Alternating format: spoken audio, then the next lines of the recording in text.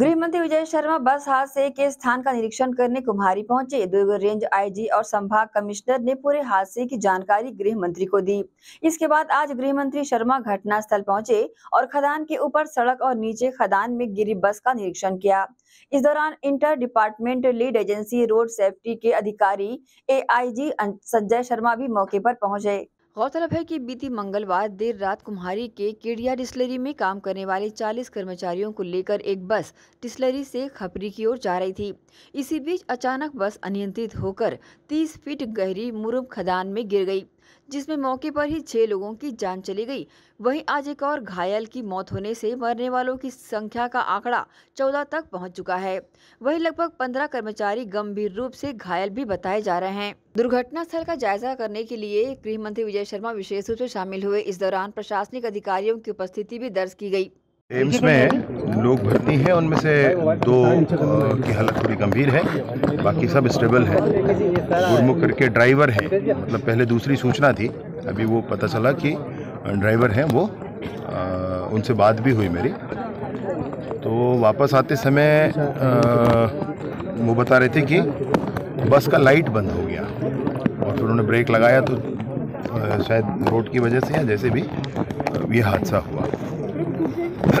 Company वालों को भी बुलाए थे अभी, उनसे भी बात हुई, केडिया वालों से, उनकी ही बस। है आरटीओ वालों को भी बुलाए थे, उनसे भी बात हुई तो अभी इसका इंश्योरेंस तो बस का है, और फिटनेस भी है, वो अलाइव है दोनों। दूसरा, कंपनी से बात हुई तो उन्होंने ग्रुप इंश्योरेंस भी कुछ कर रखा है। तो बस का इंश्योरेंस है ग्रुप का इंश्योरेंस है और कुछ कंपनी ने कुछ अपनी तरफ़ से कहा है कि वो कुछ सहायता राशि सबको करेंगे। साथ ही साथ प्रत्येक परिवार जो चाहेगा उनको एक नौकरी भी देंगे। इसके अतिरिक्त भी सरकार भी चिंता कर रही है। आज माननीय मुख्यमंत्री महोदय एम्स भी पहुँचे हुए हैं। उन्होंने बहुत स्पष्टता मुझसे कहा है कि सारी परिस्थितियाँ समझकर मैं आऊँ और उसके बाद आयोग से बात करके जो संभावनाएँ जैसी स्थितियाँ होंगी उस तरीके से आगे बढ़ा जाएगा। संदर्भ में मैंने कहा कि कंपनी वालों से मेरी बात हुई। एक कुछ दस लाख रुपए का प्रति परिवार उन्होंने देने की बात कही है। दूसरा उन्होंने कही है कि हर एक परिवार को एक नौकरी दी जाएगी, ये हम लोगों ने निर्धारित कराया उनसे।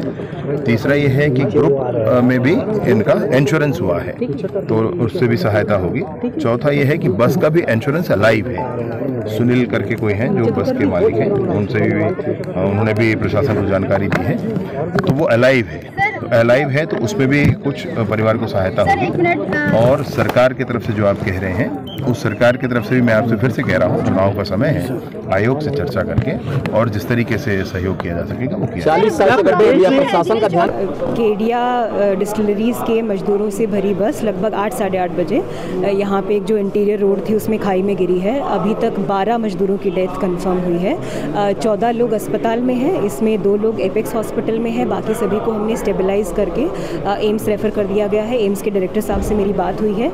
वो उनकी पूरी टीम तैयार है और वो बेस्ट पॉसिबल केयर उनको अवेलेबल करवाएँगे। उनसे चर्चा हुई है, वो साइट पे खुद भी उपलब्ध थे तो उन्होंने भी जो कॉम्पनसेशन है वो कंपनी की ओर से भी दिया जाएगा। प्रशासन के द्वारा भी जो रहता है उसको हम अभी सभी फैमिलीज़ को अवेलेबल करवा रहे हैं और परिवार के जो एक एक सदस्य हैं, उनको भी रोज़गार की सुविधा के लिए संचालक से जो है उनसे चर्चा हुई है, वो उसमें कार्रवाई पूरी घटना में मजिस्ट्रियल इंक्वायरी का गठन कर दिया जा रहा है, ताकि जो भी कारण है, जिसकी भी गलती रही है, जिससे इतनी बड़ी जान माल का ज़िले में नुकसान हुआ है, उसके कारणों की पड़ताल की जाएगी और उसके आधार पर जो भी जिम्मेदार होंगे, हम सब बारह लोगों की डेथ हुई है और चौदह लोग हमारे इंजर्ड हैं। उनको बेस्ट पॉसिबल केयर एम्स में हम अवेलेबल करवा रहे हैं। जो दुर्घटना हुई आज, उसमें अभी तक जो फिगर निकल कर आया है, वो बारह लोग की डेथ का निकल कर आया है। क्योंकि घायल लोग दो तीन हॉस्पिटल में शिफ्ट किए गए थे और इसलिए थोड़ा सा नौकरी मिलान करने में थोड़ा सा कंफ्यूजन हो रहा था। अभी जो फाइनल फिगर आया है, वो बारह डेथ है और तेरह लोग घायल तेरह घायल में से मतलब जो बहुत गंभीर रूप से सीरियस थे दस लोग, उनको हमने एम शिफ्ट किया है। उसमें आठ शिफ्ट कर चुके हैं दो लोग अभी और ले जा रहे हैं। बाकी जो तीन नॉर्मल ऐसे घायल दिख रहे हैं माइनर घायल दिख रहे हैं, उनको यहीं पे अपेक्स हॉस्पिटल में और प्रथम दृष्टि से देखने पे लग रहा है, अभी जब हम लोगों ने निकाला है, अभी वैसे तो बहुत सीरियस उसकी जाँच हो नहीं पाई लेकिन देखने से लग रहा है, वो ऐसा लग रहा है कि बस नियंत्रित हुई है और रोड से उतर के वो जो रोड के तरफ़ आई थी। सर कंपनी प्रबंधन से कुछ चर्चा हुई है कि कंपनी ने बात किया है और जो भी मतलब वाजिब मुआवजा बनता है वो शासन बैठ के कल बैठक में तय करके वो घोषणा करेगा कंपनी उसके लिए सहमत।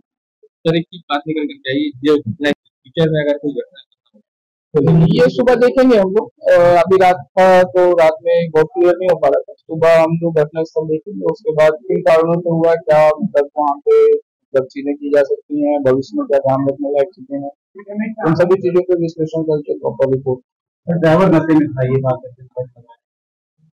ये सब जाँच का विषय है हम लोग जाँच करके एसीएन न्यूज़ के लिए शरण खरे की रिपोर्ट।